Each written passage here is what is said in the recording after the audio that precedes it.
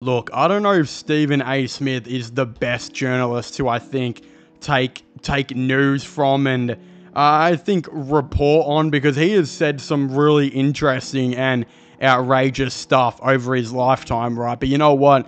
At least that shit puts a smile on our face. Like, eh, does anyone remember the time where that dude was like, I don't know, live streaming on his Pornhub account or whatever he was doing, and like Shaq called him up? Tex, are you there? Yeah, first of all, you got to take that damn cowboy hat off and stop talking about the damn Cowboys. You understand me, son? Well, who, who are you? you understand me, son?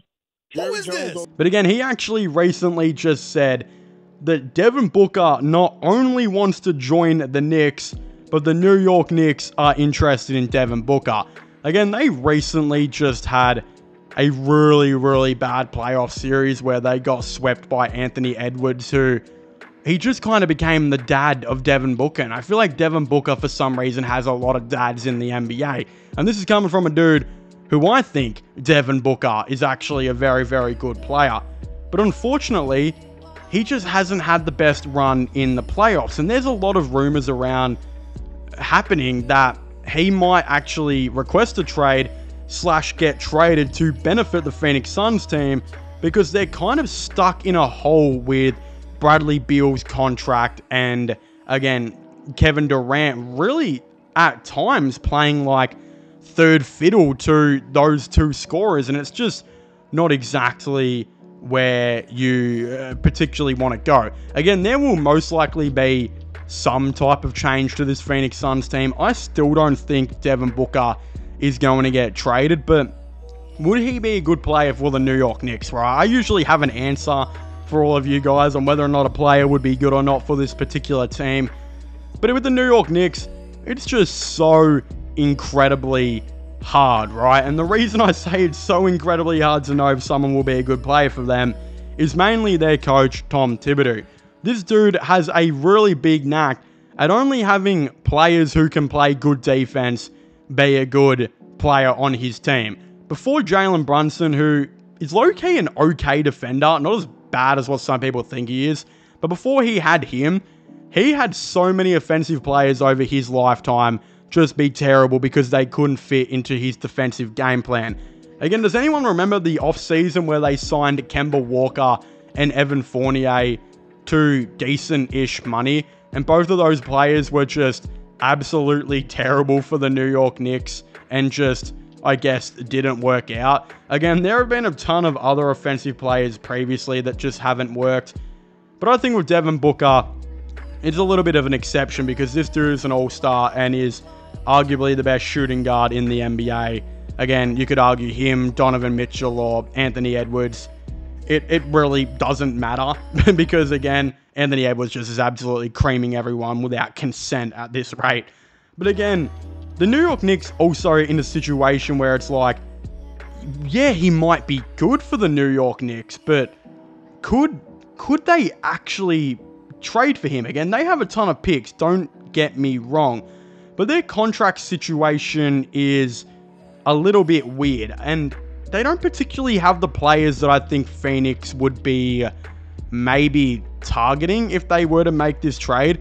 I think if the Phoenix Suns were to, of course, make this trade, they'd be looking for a power forward and they'd be looking for a point guard. We obviously know the Knicks are not going to get rid of Jalen Brunson. And then in terms of their point guard, they have a ton of other different people run point guard. Sometimes, again, we obviously know Julius Randle just runs point forward. Josh Hart has the ball in his hands sometimes as well. Uh, again, Miles McBride is there too.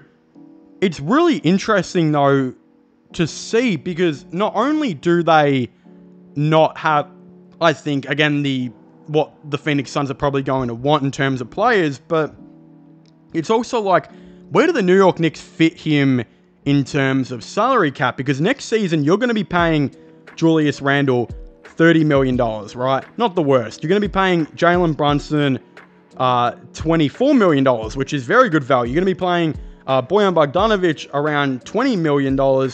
And then again, OG Anunoby is probably going to be getting about a $35 million deal, especially with how many teams are interested in him. You've still got Mitchell Robinson on uh, 14 million. Josh Hart will be on 18 million next year. DiVincenzo on 11 million. Uh, Burks, they I'm guessing will probably be bring back on 10.5 million. If they want to bring back Hartenstein, it's probably going to be on about 15 million per season off that bench as well. This team is paying a lot of bench guys, right? To bring in Devin Booker, it's going to be not only hard to match the contracts, I believe he's on like 45 million, but also like if you pay him the 45 and you're paying OG the 35, then you've also got Brunson on 25, Bogdanovich maybe on 20 if he's not in the trade, and then OG on like, uh, then um Randle sorry, on 30. But if you do that, it's like, who do you trade? Obviously, Randle would have to get traded in this. Do Phoenix really want Randle? Again, Julius Randle is a terrific player and is awesome for this New York Knicks team. But he doesn't really fix what the Phoenix Suns need. He's another shot creator who will arguably take shots away from Kevin Durant, which is not going to fix the problem. If you were the, the Knicks, you could offer up Bogdanovich on 20 million, maybe Hart on the 18 million, and Burks and a bunch of first round picks. But again, there's no way Phoenix are accepting that deal.